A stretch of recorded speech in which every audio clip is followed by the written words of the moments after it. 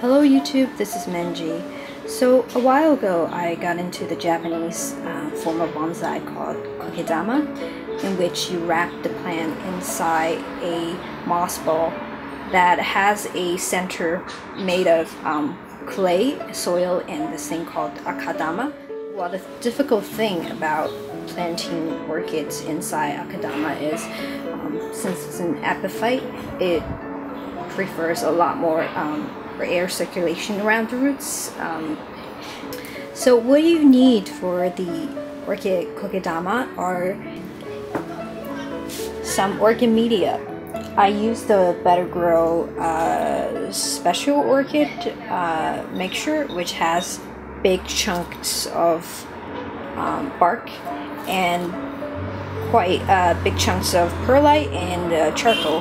Um, we want to provide some extra aeration here, so try to get the one uh, that's not too soft. You know, there's the very fibrous type that looks like, you know, that looks somewhat like this. You know, it's very flexible. You want to try to avoid these because the kokedama is going to be sitting in water for quite a long time, so anything like that will break down really fast. Um, so you want this type, just like the more bark-like chunks. Next, uh, you will need some sphagnum moss. What I have here are Chilean moss that have soaked in the water and I squeezed out the extra moisture so it's just wet enough but it's not dripping wet. Um, you can use New Zealand moss or whatever you can get in your local um, nursery. This is some type of uh, mesh I got off of a uh, garlic packaging. So uh, just so you can hold all these bark together. And a pair of scissors and some fishing line. What I did is I tied a knot at the end of the mesh. So uh, essentially you're sort of creating a pocket. Um, and then you just stretch them out a little. Start putting in some of the uh, bark chips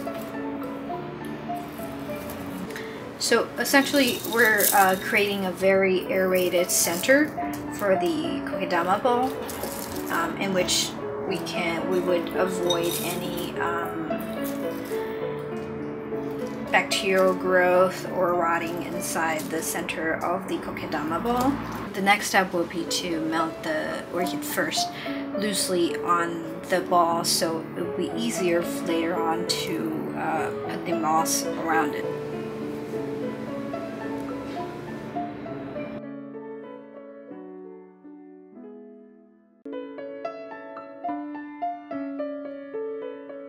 There you have it. An orchid kokedama. So uh, normal kokedama will have a layer of live moss on top of that sphagnum moss um, I decided to skip that step because in my climate it probably wouldn't work out too great.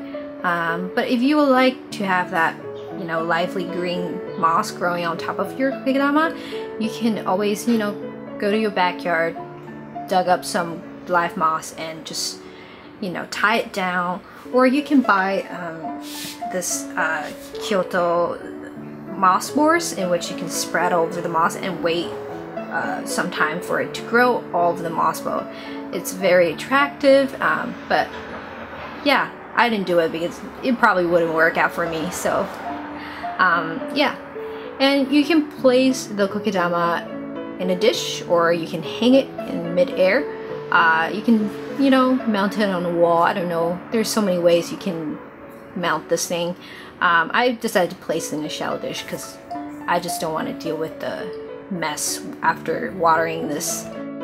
I didn't use the most attractive orchid, as you see, as because I mounted this orchid before and I took it off the mount, you know, it had this droopy leaf.